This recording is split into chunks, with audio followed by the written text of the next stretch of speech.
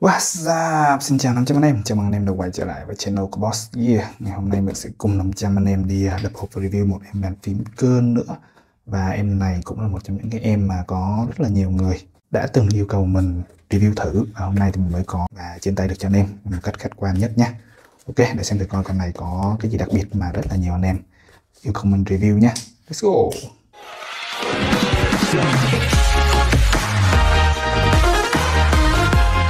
Về cái hộp ở bên ngoài của nó thì hầu như không có bất kỳ các cái thông tin gì. Đây rất là đơn giản luôn siêu đơn giản luôn không có gì luôn. Màu trắng và kết hợp với lại cái màu xám mà thôi. Đó, chúng ta sẽ biết được là con này là bàn phím cơ của hãng à, hãng này là cái hãng Gfriend. Gfriend.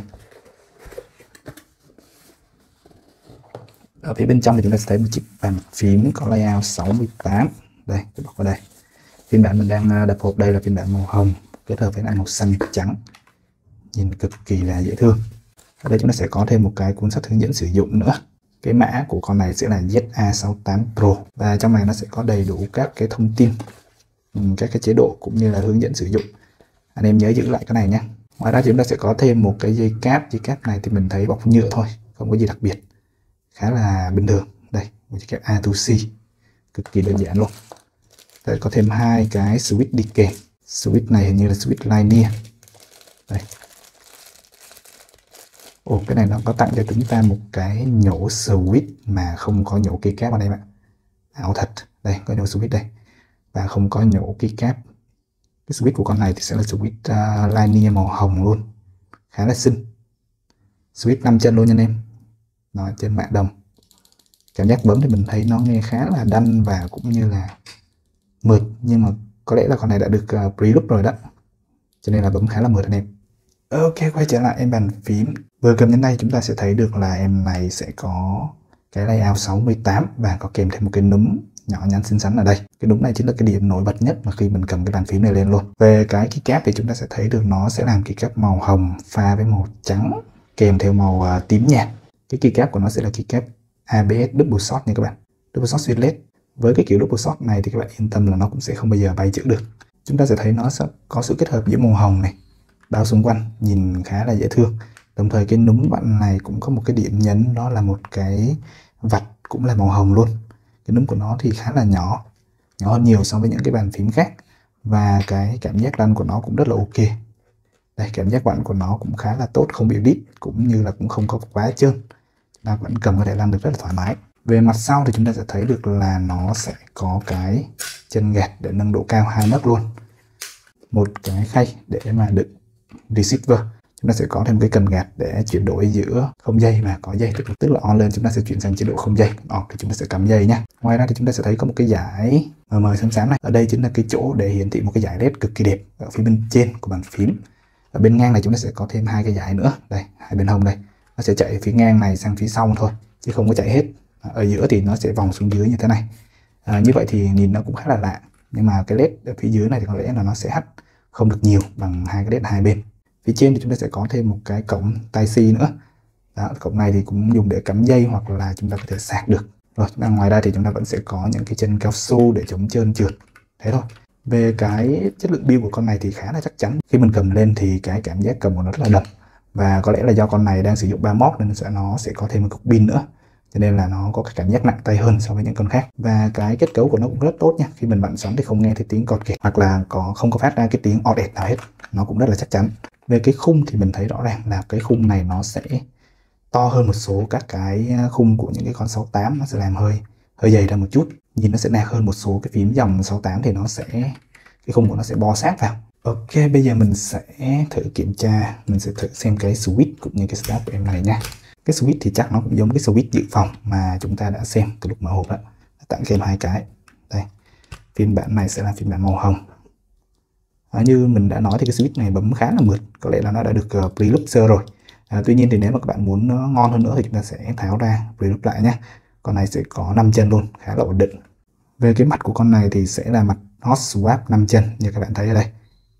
Và cái stab của nó cũng rất là chắc chắn. Plate thì sẽ là plate thép đó, chính vì vậy mà khi mình cầm lên nó khá là đầm và cũng như là cái kết cấu của nó cũng rất là chắc chắn là nhờ cái plate thép này. Và chúng ta sẽ thấy được là nó sẽ có lót luôn foam rồi. Lót foam cả trên lẫn dưới luôn. Tí nữa mình sẽ à, thử mở thử xem sao. Về cái start thì mình thấy hình như nó chưa có được lúc gì cả. À, có lẽ vì vậy mà cái start của con này khi mà mình mua mới mua về thì bấm nó cũng à, không có được ổn lắm. Tí nữa mình sẽ sao test cho anh em nghe thử. Ok bây giờ mình sẽ thử à, cắm vào trong máy và bật lên cho anh em xem nha đó.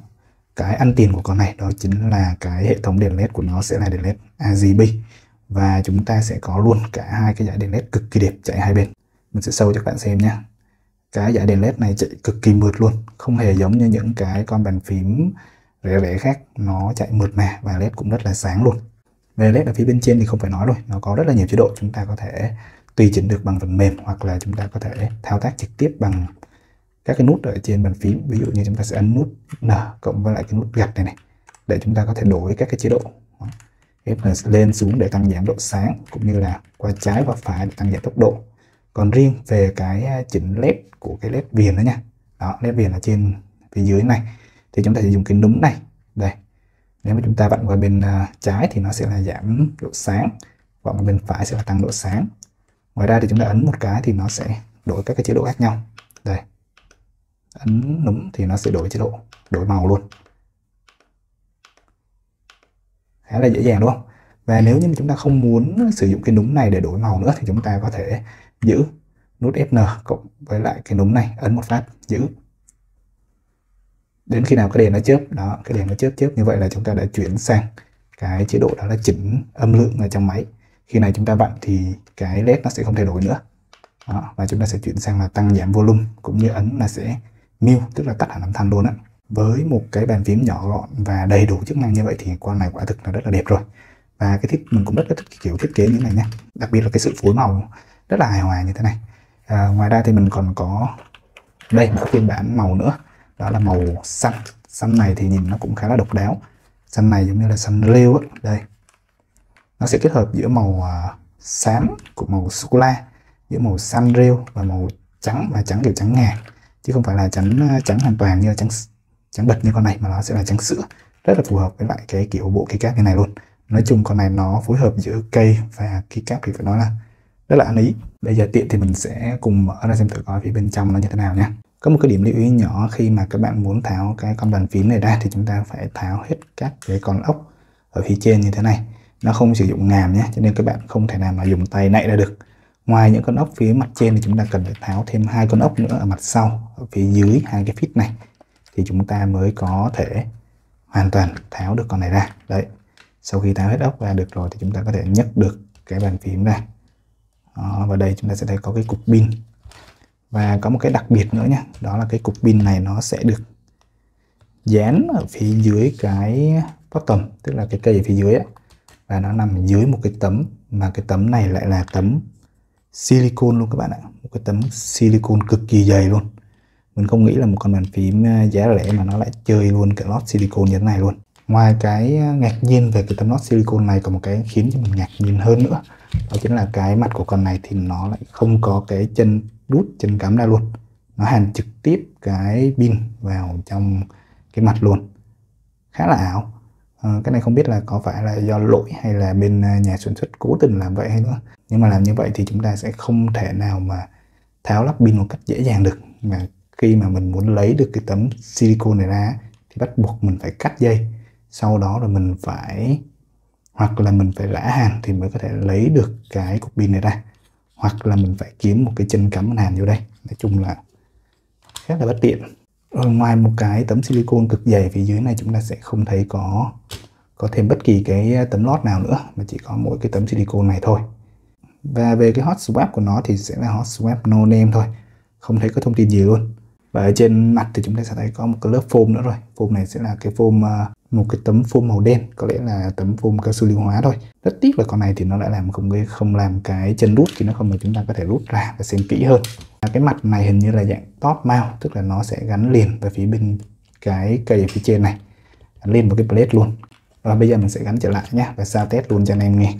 À và có một cái lưu ý nhỏ nhỏ nữa đó là cái phiên bản màu xanh này thì nó lại sử dụng à, là switch yellow và mình kiểm tra thì cái con này thì nó là switch của thằng à, TTC và cái cấu tạo của nó thì mình thấy nó khác nhau ở một chỗ, đó là ngoài cái stem màu khác nhau ra nha. Thì cái phần bottom của con này thì nó sẽ là màu à, trắng đục giống giống như những cái con à, Gateron vậy cái tiếng của nó thì mình thấy nó cũng không có khác nhau là mấy. Và cũng đều là linear và cũng có pre-loop hết. Chúng ta sẽ thấy được có cái phần chụp này. Cái chụp này giúp cho tản led tốt hơn cái này mình nghĩ chắc cũng không cần thiết lắm, nhưng mà có thì vẫn tốt hơn là không, đúng không? Thì bây giờ mình sẽ cùng sao test luôn cả hai cái switch. Cho anh em nghe thử nhé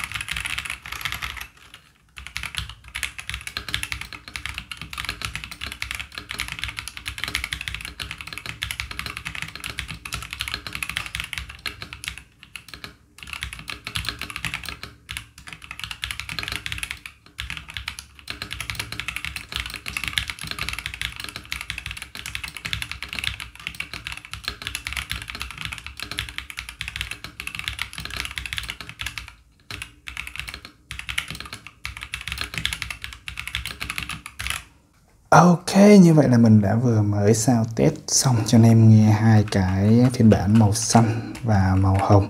Thì thực ra hai cái switch này cho ra hai cái thứ tiếng nó cũng giống nhau thôi, chứ không có khác biệt gì lớn lắm. Có chăng thì mình có cảm giác như con này thì bấm nó sẽ có màu vàng này bấm sẽ nặng hơn một xíu thôi. Còn về độ đẹp của hai con thì mình nghĩ nó đều như nhau, mỗi người một gu hết. Và với cái kiểu màu hồng như thế này thì mình nghĩ nó sẽ nữ tính hơn thôi. Tổng kết về bàn phím này thì chúng ta sẽ có những ưu điểm như sau. Đầu tiên đó là về cái layout của nó sẽ là layout có núm 68% cực kỳ nhỏ gọn. Với layout này có rất là nhiều người thích đặc biệt là cái núm vặn này. Và chúng ta sẽ có một cái hệ thống đèn led cực kỳ đẹp luôn. Đây nó không có cần phải nói bàn cãi gì về cái ngoại hình của em này nữa. Đó, quá đẹp rồi. Về hiệu năng thì chúng ta vẫn sẽ có một cái dàn switch linear đã được pre-loop đồng thời là mặt cũng có hot swap 5 chân có lót foam, cả kể cả lót luôn, cả silicon đáy luôn, rất là ngon rồi. Đó là chưa kể em này có hỗ trợ 3 mod kết nối nữa, trong tầm giá 700 ngàn thì rất khó mà có thể kiếm được một con đầy đủ các cái ờ, kiểu ăn chơi như thế này. Tuy nhiên nó vẫn có những cái điểm trừ, mà mình thấy cái điểm trừ lớn nhất đó chính là cái phần pin pin được nối với mặt thì sẽ hàn trực tiếp luôn, như thế thì rất là bất tiện. Cái điểm trừ tiếp theo nữa đó là cái ờ, cái start của con này. Start của con này nó chưa được làm gì hết, chưa lúc, chưa cần luôn. Cho nên nếu mà các anh em muốn sử dụng mà cái ngon lành thì chúng ta sẽ nên đúc lại và cân lại staff nhé thì nó mới ok được. Ngoài ra thì với thầm tiền đó chúng ta cũng không thể đòi hỏi gì thêm được nữa rồi. Anh em thấy sao về con bàn phím này? Nếu mà anh em muốn biết thêm chi tiết về bàn phím thì hãy cứ comment ở trong phần bình luận nhé còn nếu mà anh em muốn ờ, tham khảo giá thì mình có để link ở trong phần mô tả video đó. Ok, cảm ơn các anh em đã theo dõi video. Nếu mà thấy hay thì nhớ like và share ủng hộ kênh Boss Gear nhé cảm ơn các bạn. Bye bye.